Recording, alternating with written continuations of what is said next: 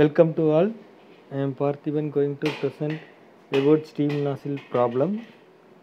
In the last class we have discussed about the convergent divergent nozzle and those problems. Now we are going to see the nozzle parameter calculation as well as how uh, the temperature and the velocity at throat uh, going to calculate using uh, no losses.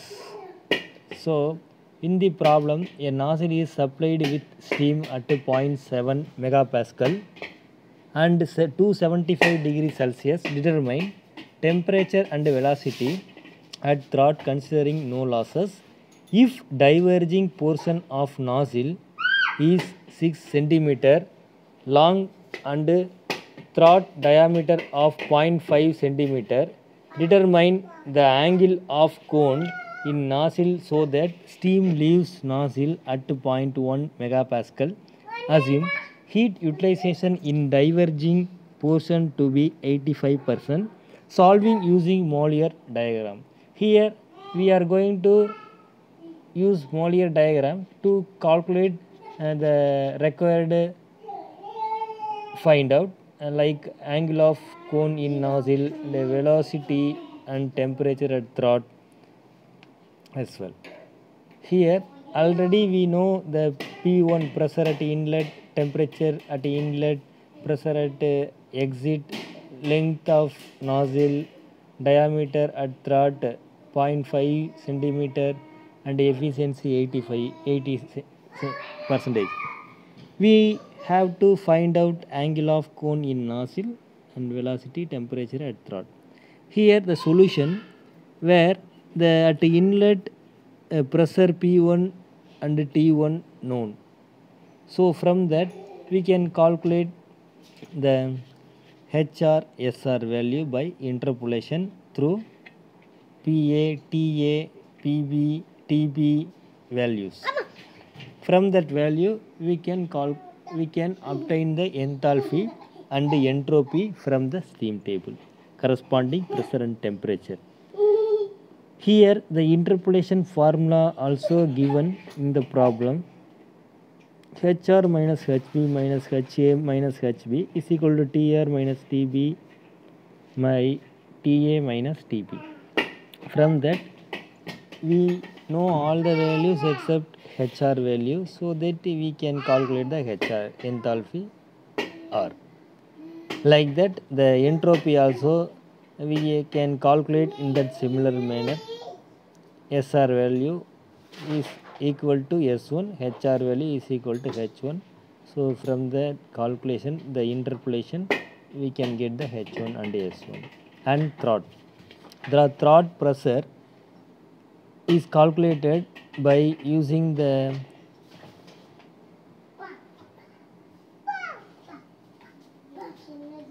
P2 by P1 relation is equal to 2 by n plus 1 power n by n minus 1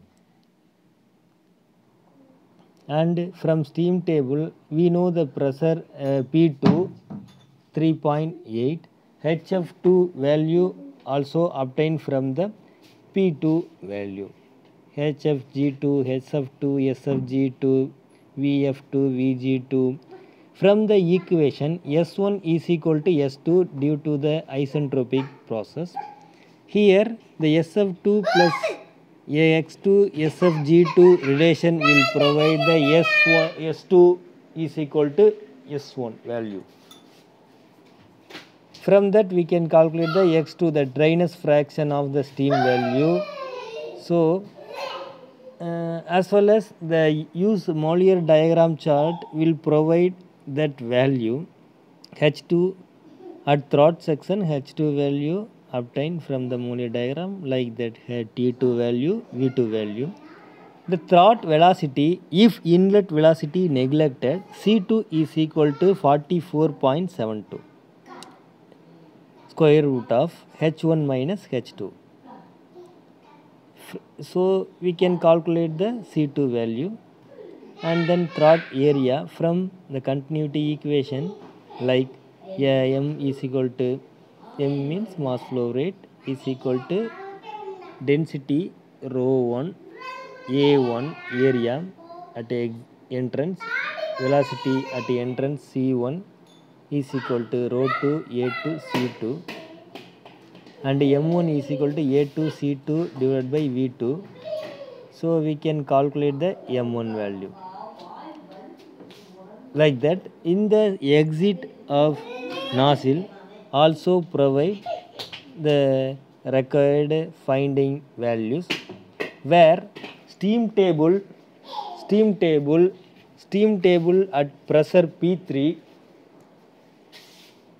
is used to obtain the HF3, HFG3, SF3, SFG3 data value as well as VF3, VG3 also obtain. From the equation, eh, the according the process S3 is equal to S1 so that we can calculate the SF3 plus X3 SFG3 relation provide the SF S1 or S3 value directly.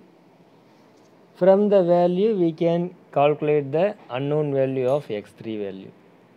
H3 is equal to h HF3 plus X3 h of g3 where we know all the values previously we obtained from the steam table at con at the pressure and temperature value respectively so that we can calculate the H3 value. Enthalpy at exit.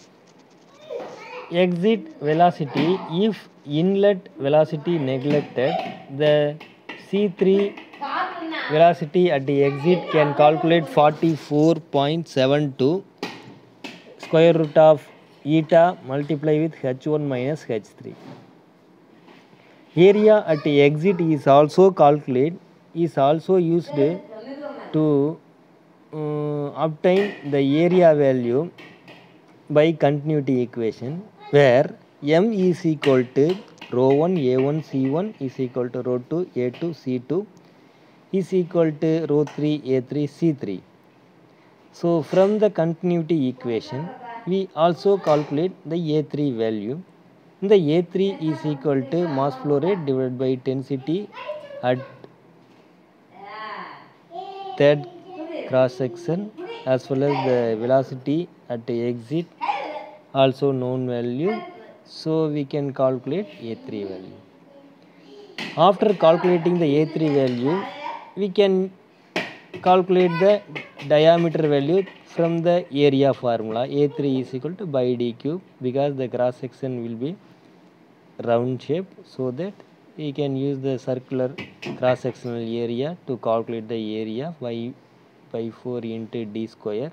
Here exit area denoted that d3 after calculating the d3 we can calculate the cone angle 2 alpha. Tan alpha is equal to d3 minus d2 divided by 2 multiply with 60 which will give the alpha value. The cone angle value is equal to 2 alpha is equal to 1.69 thanks for watching. Uh, this continuation will be uh, next part